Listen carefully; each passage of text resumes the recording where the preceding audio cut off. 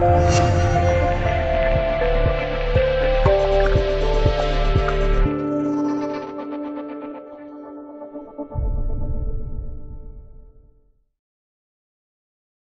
青在线布鲁塞尔六月二十五日电，中国青年报中青在线驻欧盟记者聚会，当地时间六月二十三日至二十四日，中国济南海外高层次人才创新创业大赛。欧洲赛区预赛在比利时布鲁塞尔举行，经过严格评选，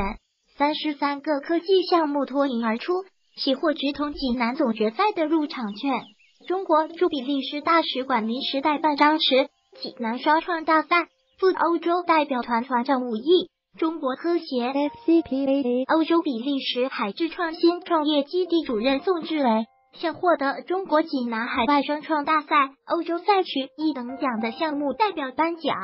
图片由欧洲赛区组委会提供。中国驻比利时大使馆临时代办张弛，科技参赞沈龙，比中经贸委主席德维特，德国汉堡投资局主任马新汉。济南双创大赛副欧洲代表团团长穆毅，中国科协 FCPA 欧洲比利时海智创新创业基地主任宋志伟，全欧华人专业协会联合会秘书长邢斌，旅比华人专业人士协会主席徐志安等中欧嘉宾出席于在开幕式及颁奖仪式。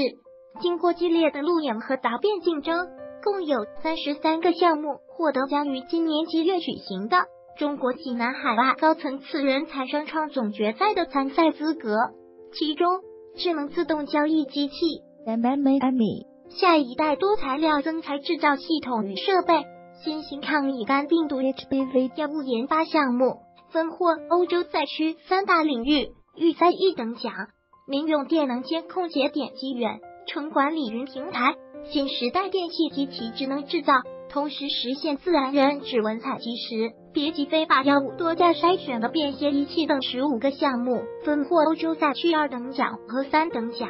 中国科协 FCPA 欧洲比利时海智创新创业基地主任宋志伟表示，获得总决赛资格的这些优胜项目，均在相关领域处于世界前沿水平，且比较契合济南市创新创业和科技发展的迫切需求。